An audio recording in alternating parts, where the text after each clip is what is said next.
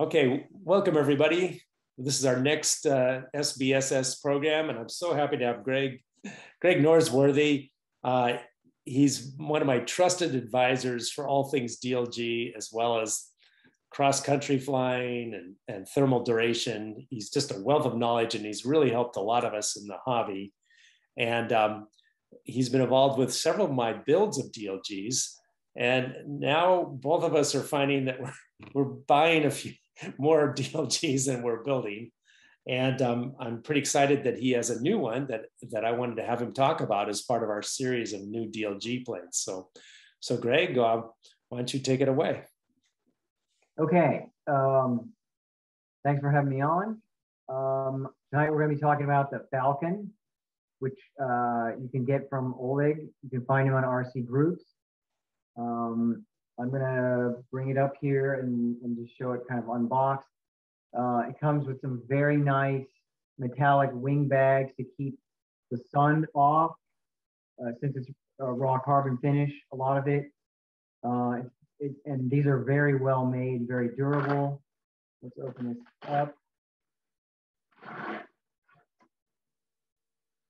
It says HQ high quality on it, and it's not just PR. Um, this really is a high quality airplane in every sense of the word. Now, now I heard it was modestly priced. Um, uh, is that it is, true? It is modestly priced. I can't remember exactly how much it is.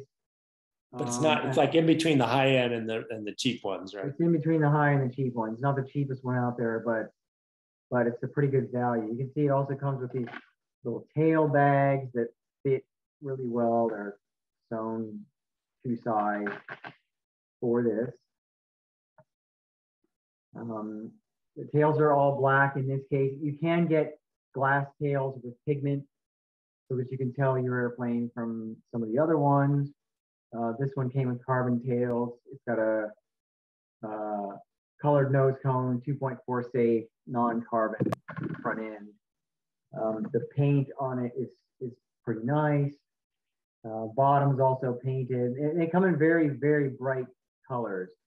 So it shouldn't be too hard to tell yours from someone else's.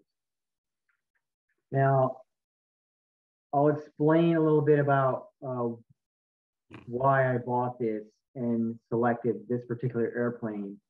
If you can show that picture with me uh, standing with its its predecessor there. This is the Skinny pickle. It is the skinny pickle. Yeah. Um, I've been sort of chasing this design space for a while. I looked up the skinny pickle thread and was shocked to see it was 2013. um, after seeing the XXL, if anyone's familiar with the XXL, it was it was the first really popular molded, very high aspect ratio DLG in the in the marketplace. Um, they weren't made for too long, and they were kind of hard to get, but there were a few in the area. And odd coincidence, I happened to run into one just a couple weeks ago at a field and flew against it, and they're actually pretty good, um, given the age of it, being almost uh, 10 years old now. Yeah. Um, but the the advantage is you go with a very high aspect ratio wing and a much lower weight and to get you in the same wing loading range as a bigger plane. But for those of us who are not gifted with really good throwing arms, or those of us who are older. yeah, okay, that too. Um, I found that in the in the contest, sure the other guys could outthrow me, um, but not by uh, a huge amount, and I wasn't too far out of competitive at the beginning of the contest. But by the end of a two day tournament, I had gotten quite tired and throwing that larger airplane, a regular size DLG, was getting to be a bit difficult and was probably going to lead eventually to shoulder injury if I kept doing that over and over. So I felt like when I saw the XXL come out, um, a guy named Mike Stern was flying it at at uh, Poway and did impressively well with it. Um, enough that a lot of people took notice and, and started looking at that design space, uh, myself included. So I went home, and at the time, uh, Gerald Taylor had just put out the Synergy airfoils. So I took a look at what that would look like if I took the Synergy and just kept reducing the chord, reducing the chord until I got into the space that I was looking for. And I'm not going to say that I know what I'm doing as an aero designer, but that airplane actually came out pretty good.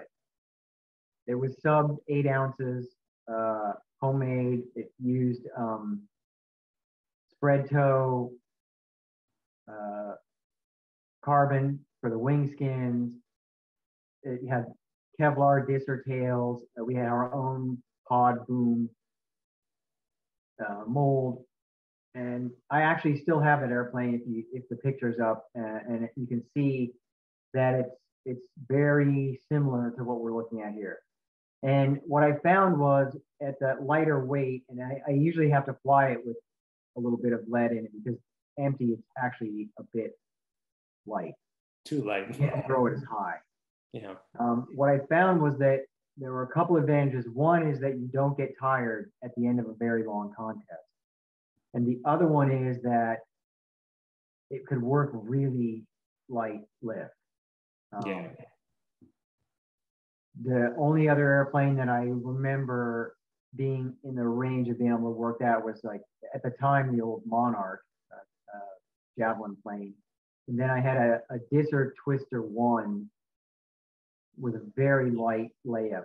Um, and it would work really light lift really well. Um, it was so light though that it wasn't dimensionally stable over a long period of time. So the the skinny pickle with the bag solid core wing and the carbon skins, I actually still have it now, what eight years later, and take it out and fly it periodically, and it's still good. Yeah. The, the disadvantage of that airplane is that with the high aspect ratio thin wing, um, and I did have some flutter problems and I had to face the ailerons as I got some practice with it um, almost all the way out. Um, but it doesn't flutter. Uh, the disadvantage of that airplane. Face, uh, you said face. Uh, I should know that word. Did you put? Face. Yeah, that, face. You, face you put some with uh, glass because it was just raw foam and two, raw foam, two sheets. Exactly. Okay, and that was the flutter, helped the flutter. Didn't quite cut it, yeah. Yeah, okay. So uh, that worked. The, the disadvantage of that airplane uh, is that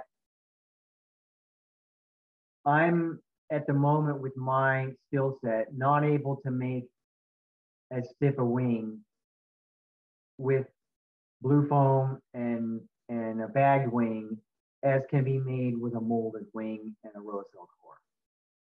So yeah, it launches okay, but it doesn't launch quite as high as some of the other planes because I know I'm giving up a little bit of energy as the airplane flexes on the way around and then lets go of that energy. And that's of course lost from the, the throwing and, energy. And what was the core? You, what, what, was the word you used for the core of the Falcon? What, what, what rose core? Rohacell. It's Rohacell. So it's a foam, but a different type? It's a different uh, polymer from the polystyrene um, blue foam. So is it more like a styrofoam cup, maybe, or, or what, what, No, it's actually um, stiffer and okay. maybe a little bit denser, but uh, more rigid. Yeah, so so our wings could kind of squeeze and unsqueeze, sort of things. Well, right? they twist too a little bit. Twist, yeah. bend. Um, the the so and of course I, I, still have the plane and I, I, I flew it for quite a while and still do. Um, and then I was watching the design space to see if anything came up that was worth buying that would give me a little bit of an advantage over what I built. Yeah. Um, potentially, if I were able to put that extra half ounce or ounce back in the plane, maybe I could make it stiffer and get it closer. But you know, we're talking about it's a lot of work to make a homemade DLG, as you know. I know, as I know with my pickle. At some point, your time is worth something, and and as we get into this discussion, you'll see that there's certain advantages to buying an airplane. Um, yeah, like about a hundred to one in labor costs. well, that yeah. Um, so I watched the design space, and the snipe came up, and it it looked pretty good. I got some feedback from pilots that really liked it. I got some feedback from pilots who said that it was on the more challenging side to fly. Um, and if you were really good, you could take advantage of that. But if you uh, weren't quite that skilled, that there was a high pilot load on. Um, yeah. I, I can't confirm that. I've never flown one myself. I've flown against them and they seem very, very competitive. So for whatever reason, I just never was uh, tempted to, to acquire a snipe. And then I looked at the Flitz, and then I looked at the Flitz 2. And as the Flitz 2 came on, it looked pretty good. And you know, it just there was a point in my life where I wasn't flying a lot of DLG and didn't make a lot of sense to acquire another one. And I didn't think it would be enough. I did actually fly against both of, I believe, a Flitz one and a Flitz two in Arizona at the at their club, and they have a pretty active DLG scene yeah. going there. And it, they looked good, and it was it was really a kind of a coin toss, and I ended up not getting one. Um, and then I also noticed in that design space, uh, I know Thomas has put out a couple planes, and then there's the concept. Uh, yes. Five, EDX5. Um, which I yeah I picked. You got an iPhone, and and I actually got to admit when I flew your plane and threw it and felt the stiffness of it, I thought, okay, yeah, there's some it. room here for gain, and it's it's time to start thinking about what I'm going to do next. Yeah, yeah. Um, and and I and the Flitz 2 it was um was right up there too. I was deciding yeah. between the two. Yeah. Right, right. So um, I had thrown someone's Falcon uh, a couple times.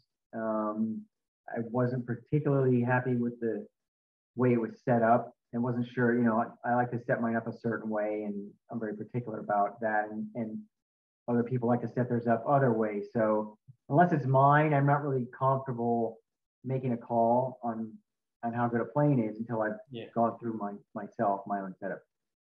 Um, but it, the way it felt when I threw it gave me an idea that okay, it's it's probably there. Yeah.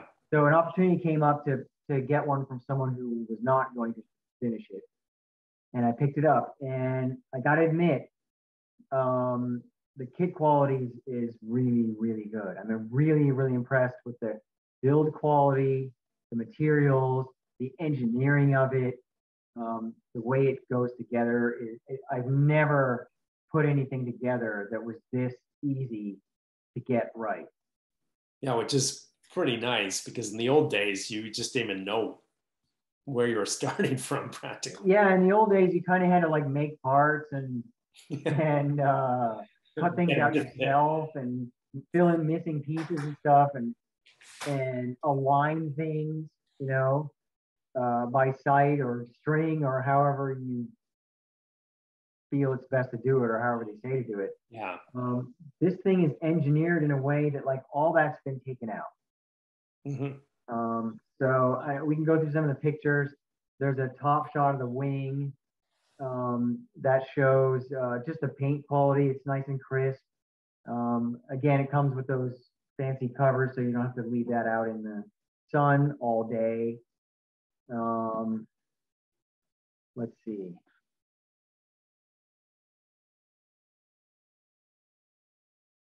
By the way, Knowles, Knowles made covers similar to that um, from Home Depot. I guess they have some kind of silver line uh, insulation. Um, yeah. So, so that stuff right. is pretty nice. You can almost sew one, even though it's certainly nice to have it all fit and velcroed and everything. Right. Yeah. These are these have sewn edges and velcro, and it, they're they're not they're padded on the inside, so yeah, still run the outside and the padding. It's, it's really really nice. Really well thought out. So if you pull up the picture of the pod, um, it's generous enough that you can fit whatever are the current servos. This one happened to have bluebirds already uh, in process, so that's what I put in.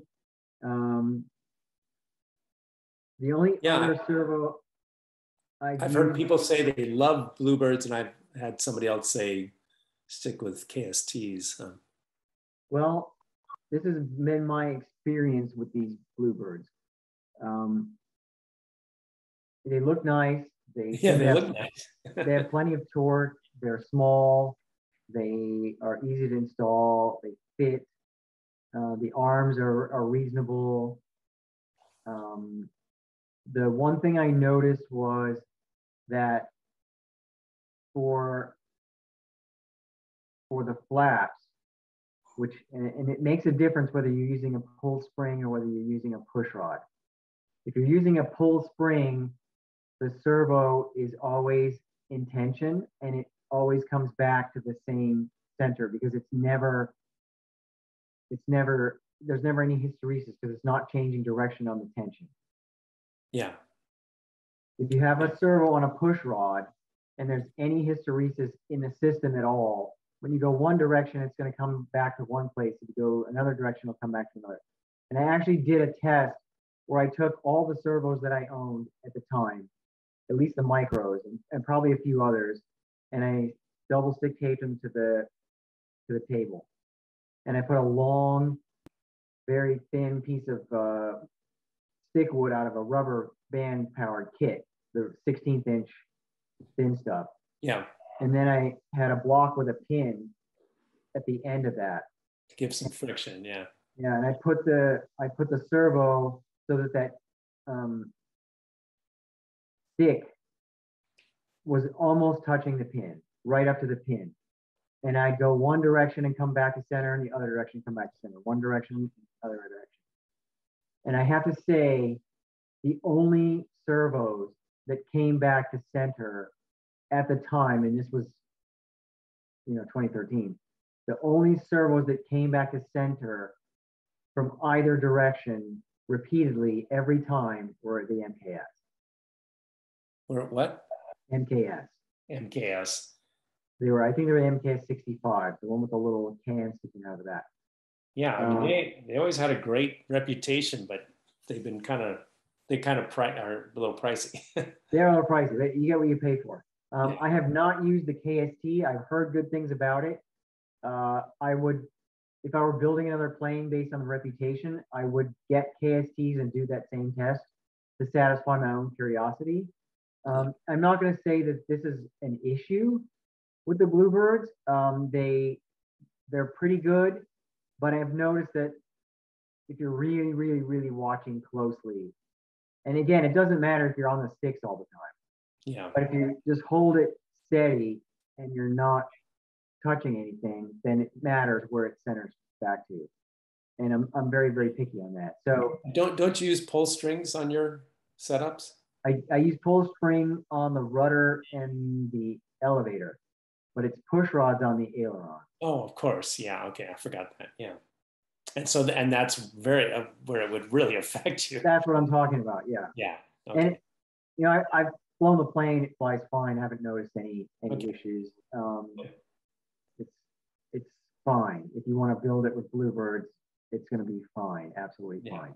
Yeah. Um, but if I, if I were buying the servos, I might investigate a little bit more. And I'm not saying I'd go for the MKS, but I might if I was being really picky. Okay. Um, so if you pull up the picture of the rudder, I'm just going to show detail on the engineering here. Um, Yeah. You can see the the rudder is designed with a pocket on it that matches the boom perfectly. And I mean, when I say the mold work matches perfectly, it can only go one way. Yeah. So basically you you put it together, sight it with the wing, make sure you're happy with it. Then you put some CA on it, glue it on, and you're done. And there's none of Yeah. this, is it straight or not, or what if it bumps a little while I'm moving it from the table to where it's gonna cure overnight or whatever. None of that. Slip it on, glue it on, and it's done. And if you look, the the mold work just rounds out and ends halfway through the rudder, and then they give you a little tiny, tiny diameter white plastic tube that just barely sticks out the end of that to give you a bearing surface for the wire. And I mean, the, the details go down to what kind of braided or twisted steel wire they pick to use for the pull spring. And it's, it's about the thinnest wire that I've seen. And it, it handles really well and it, it, it installed really well. And I'm, I'm just, I was just super impressed with the quality. Although I'm noticing, I, I've been watching the wires. I mean, we used to use these things that look like, you know, like telephone wire, and now yeah. they're getting very fine and with them. So, so I, I've noticed that too. I, I think the new planes have these really thin wires. It's kind of nice. Yeah, I mean, you can get. Uh, I think it's Dacron is was one of the ones we used before. It's yeah. pretty good. It doesn't stretch very much. Uh, you can get Spectra fishing line. It's pretty good. You can hang it from your door with a weight on it overnight and pre-stretch it, and then it probably isn't going to stretch anymore. Um, then there was a Beadalon, which is steel wire with the yeah. plastic coating. That's pretty good. It doesn't stretch at all because it's steel. It's a tiny bit heavier because it's thicker. Yeah. Um, and and it is thicker. This is like the Beadalon without the plastic coating. It's, it's just yeah, but really, it is really but nice. it has like a plastic feel to it. So it, it, like maybe they dip in plastic or something. I don't know, but it, it because that's what I've I've been using nice. Beadalon. It looks like wire, but there's some kind of it's like Beadalon, yeah, has a, a plastic coating on it, very thin plastic coating. And again, that's it's pretty good. Yeah, yeah. Um, okay. Then if you go to the picture of the elevator, I mean the the pylon has the perfect hollowing out of the back of it to fit the control arm that goes there. It's a notched control arm. Um, he gives you the springs. Is that removable? Is it removable? It is a removable stab. Yeah. He gives you the springs uh, for the pull spring, and he gives you these tiny, tiny little steel tubes to accept the wire of the pull spring, which you then CA into the. Wow, that's a nice touch. Stab. Um, and uh, I don't know if it shows up on the picture, but if you look at the hinge, uh, I mean, the hinge isn't just, you know, molded in and then cut. It's actually, the V is molded into the hinge. Wow. And it has enough V in it that you can bend the rudder a little bit more than you'd ever want to bend it. So there's no like tension as it gets close to the maximum throw. Same with the elevator. There, the angle on that has been designed and, and built in with the with the hinge built in, you know, into the laminate, so that it it actually has enough throw without being too wide to give you like the perfect gap. I mean, yeah it's it's really impressive how carefully they thought this out. Um, the pylon looks like it's glued on, but I think they glued that on for you. Um, unless the person who had it before me glued it on. But I think the pylon is glued on for you. So it almost looks molded in. If you look really closely and feel it, you can feel the ridge. But again, the, the mold from the pylon fits the mold of the boom perfectly. I mean, there's no gap at all. Yeah. Not like where you have you used to have to sand out the balsa part and then glue it on, glass around it, you know. uh, and the boom on this one, and, and people have different thoughts on this. This boom is, I would describe it as not not oval, but it's flat on the top and bottom, and it's curved on the sides and it's wider than it is tall. Yeah, which is good for that's where the strain is, right? Right. So because of the thickness, it can bend more in the up down elevator direction. It's very, very stiff in the rudder direction. And it's always a, uh, a call whether you want to make it more stiff one way or the other. Because you don't want your boom to flex in the elevator direction on the throw because then you lose some some elevator pull on that pull up, uh, but you obviously don't want the rudder to flex on the on the throw either because then you're losing energy on the on the wag back and forth. Yeah. Um, but that's probably the right compromise, right? A little bit stiffer on the lat. A little bit stiffer on the rudder, yeah. yeah. Especially for the big throwers. Um, and again, they have the the thing is like uh, I'll, I'll, talk about the weight a little bit here. I know these come out. You can get a light one in the low 200s, I think, grams. This one came out almost 250, which is about an ounce heavier than my skinny pickle uh, empty. I do balance the skinny pickle up a little bit, but not quite as heavy as this. And I can feel the difference in the weight when I throw this versus throwing the skinny pickle. And to be honest, when it's absolutely dead, dead calm, zero wind, no lift conditions, I don't think I can throw this much, if any, higher than the skinny pickle. Yeah.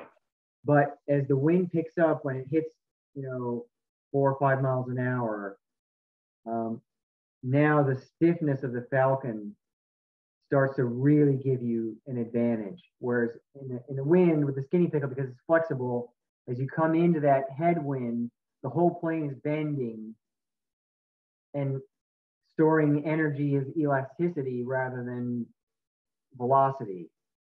Yeah. And you subtract that from your launch. The Falcon, as it gets, the windier it gets, the higher you can throw it. And it seems I've, I've taken it out on some days when it was not like gale force, uncomfortable, but certainly windy enough. And, and DLGs usually almost any wind kind of freaks you out with most DLGs. Yeah. And it, it just, it really came alive on the throw. Like I found myself now, the windier it got, the more competitive I got. But it, but it could it actually went higher in wind than it does Absolutely. with no wind? Absolutely. Now, because the relative the relative velocity between the plane and the air is higher when it leaves your hand. Oh, because it's, so it's like it's going 10 miles an hour faster or something. It's, yeah, it's the same reason. It's the same reason when you fly a carrier, you fly, you head into the wind to take the plane off off the carrier. Yeah. Because you get an extra, however fast the carrier is going, plus the wind velocity, and and now you're you're um, adding that to the velocity of the plane. See, no, I while you were talking, I looked up 250 grams, and so that was 8.8 ounces. So that's not super light, is it? It's not super light. But is that your build, or was it just your choice, or? Um, I don't know if this one was one of the windy versions. Oh, okay or the medium version. I've heard that some of the medium ones come out in a range of like 230 to 250. The windy ones come out in the 250s. Yeah. Um, and the light ones you can get in the low 200s. Now, already owning a skinny pickle, I'm not sure I want to own one of these at the bottom range because I've already got that space covered. Yeah. Yeah. But what I do have now is a plane that becomes very competitive as the wind picks up. Yeah, and some wind is probably to be expected. So that's good. Especially towards the end of the day, if you're in a tournament, especially you're going to run into wind, especially towards the end of the day. And yeah. It can get quite strong, like at Poway at the end of the day. Yeah. Um, and so this is still an airplane that's good. If you had to have one airplane, this would be a good yeah. choice. Yeah. Um, if you could have a lighter one, you could get a light version of this and a windy version of this. Now, the stronger throwers, I have read comments saying, I can't imagine wanting one any lighter than 245 or 250 because yeah. they can throw that high launch without the wind. Yeah, yeah. Which I can't do right now. You, you know, one thing going back, you, when you maybe this has to do with the fuse or maybe maybe the wing, but um, are all of them starting to put the uh, all four servos in the in the pod, or are they getting away from wing servos uh, for the ailerons? The flap well, that's an interesting question. Um, the trend has been towards four in the pod, um, and I did that with a skinny pickle. Pickle, and the reason, well, the reason for that is as the wing gets higher aspect ratio and thinner, and this is apparently uh, derived from Gerald's Synergy 2, I think. Yeah. Um, as the wing gets higher aspect ratio and thinner, it becomes harder and harder to get a servo in there and hide it. yeah. Um, I know the Flitz has had servos in the wing, uh, and there's there's some others that do. I I don't remember on the CX5. It might have servos Oh. in the wing. Um, they're in the wing, Yeah, so it's not So- a in wing. it, it's kind of a 50 Yeah, so- 50 right now. Um, a lot of people are going for in the pod. Um, And I noticed the connection, uh, maybe the connection to the wing was actually fairly clean. Sometimes I, like on the old Predators, I think it was a little, one of them had kind of a funky connection that seemed to be, you have to fool around with to build your, you know, put your wing on. well, the problem, yeah, the problem with the four in the pod is you always have to come up with a way to put the push rods on the wing. Yeah. and there's different ways of doing it. Some people have them internal, some people have them external. Uh, the Falcon happens to be external, but it has a cutout um, here. So if you go back to the live, um, it has Um, a that's cutout. It has a cutout here so that the push rods come out, but they actually are inside what would be the pod a little bit Yeah. um, before they connect to the other one. So they are hanging out in the breeze, but they're not hanging completely out in the breeze compared to uh, like the Predator or the Skinny Pickle, which was just exiting out the side and, and connecting where it could. So it's Okay, pretty well- clever that way. So I'm looking at the picture of the underside of the wing, and it looks like you have two con, uh, control horns on the ailerons. And Yeah, where- they're just simple simple control horns on the ailerons, and they are external, but they're very close to the fuselage. and where do the where do the uh, ro- control rods come out? They Did come you- out the side of the fuse about an inch forward of that hinge line. And they're also done with that very thin white tubing that just barely pokes out of the side of the, the Okay, and so it pokes right behind the last screw on the wing. Is that? Uh, It's in front of the last screw, actually. Oh, okay. Because in your picture, I don't see any holes. I was just wondering. Yeah. Okay. Um, and then I don't know if you can see it on the picture of the bottom of the wing, but oh, I okay. I get it. There's no holes in the wing. Yeah. yeah, they're the wings held on with two Phillips head screws. Yeah. And the way they've done the mold work is there's a cone shaped interface between the fuse and the wing. So there's no there's no ambiguity about like lining it up. It- Right. And everything is streamlined too. You Yeah, it's all plan. streamlined. All the mold parts fit perfectly, and when it locks together, it's it's mated perfectly, and it can't go any other way. Yeah, yeah. Um, which is really really nice. Um, and I guess as far as like the four in the pod versus the two in the wing, if you got four in the pod, you can take nose weight out um, because the servos are farther forward. Um, but you may not want to because you don't want to put too much weight too far forward because it's uh, then got to um, the farther away the weight is from the center of gravity, the more swing you're going to get on your on Yeah. your launch. Um, and the way I did mine is I did the receiver in the back, the servos in the middle, and the battery in the front. And that seemed to work okay. You could probably put the receiver in the front and the servos in the back. I've seen people do it that way. It makes it a little bit challenging to hook up the ailerons because your connection gets really short. and You've got very little space to work in. But you get a shorter connection, which means it's less prone to uh, flutter or distortion or anything like that. Okay. So it's a tough call. It's 50 50. You got you got to look at your components, what size they are, uh, where they fit best, and, and how it fits. But in this airplane, there is enough room to put everything in without working with mirrors and dentist tools and the magnifying glass, which is nice. stats. yeah. So that part, uh, of course, is really nice. And then um, the last picture I'll show is the throwing peg, which is pretty cleverly designed. Um, it is a uh, blade type. Uh, it, it comes with a generous blade in case you have very large hands. Uh, in my case, I was able to remove, I don't know, 40% of the of the mass of the throwing peg in the blades to fit my fingers perfectly. And then of course I like to round it and customize to my fingers. But he also gives you a little tiny, or no, actually it's molded into the peg. Molded into the peg is the missing piece of the wing that would bridge the the tip where you're inserting this. So it's not like it has a notch.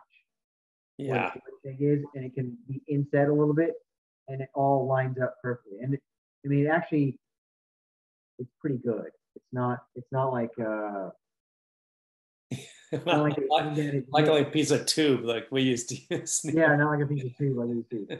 Um, so, you know that that's it's pretty good.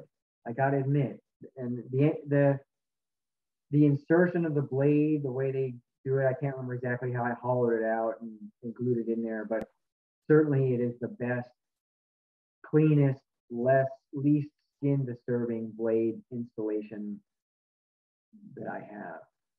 Yeah, yeah. It's just remarkable, yeah. Yeah. So I've only had this for a few weeks finished. And I mean, it only took me like a couple days to put the whole thing together, and I was not pushing it. Yeah. Uh, when I say it's well engineered, it's really, really well engineered, and it's extensively documented all the different ways you can configure it and, and put it together. And they do a, a really nice job of it. And they've got all the pieces you need included, and it all fits and it all works. And like I had to I had to acquire like a couple pieces of balsa to brace the push rods and I made my own servo tray out of plywood instead of the one they gave me because the guy I got it from had already started cutting on it. So I just used that. Um, yeah. Other than that, like everything's there and it all fits and it it uh, it's pretty impressive. And I've I've flown it in anywhere from absolute dead calm to not not the limit of what you would fly a DLG in, but you know, some wind. Yeah. And I really felt good with it over most of those conditions. Yeah. And I have yet to take it out with a skinny pickle on a completely dead day and clock it or something like that to see. Um, but I think like on the on the absolute dead end of the scale, it's probably about the same. And then as the wind picks up, it just gets better and better and better and better. Yeah. And the flying qualities of it, um, I'll go on a little side note here. When you mentioned the four in the pod versus the wing servos, there's a third option now on the table that people are are talking about, which is the four full servo house. wing. A what? Four servo wing. Yeah, I was gonna say full house deal. Yeah and and that was the rage back in the days of the Vandal and the and the uh, Encore. You could get a four servo wing, and it made a pretty nice handling plane. It was good for quick turnarounds because you could brake with the flaps all the way, and you still had high amount of aileron throw to control. Um, and